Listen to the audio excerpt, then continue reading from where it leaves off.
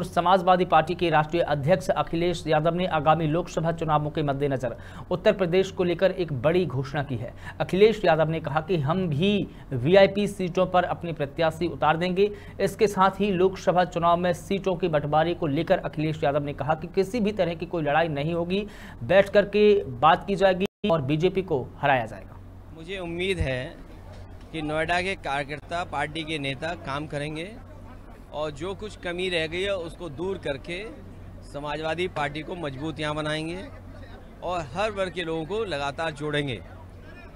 India गठबंधन और जिस तरीके से उत्तर प्रदेश में भारतीय जनता पार्टी और देश की राजनीति में भारतीय जनता पार्टी काम कर रही है, जनता निराश हुई है, महँगाई से लेकर के बेरोजगारी और किसान को सुविधा ये दे नहीं पाए हैं। और उसका परिणाम ये होगा कि आने वाले चुनाव में भारतीय जनता पार्टी उत्तर प्रदेश में ही नहीं, बल्कि देश में बड़ी हार होने जा रही है।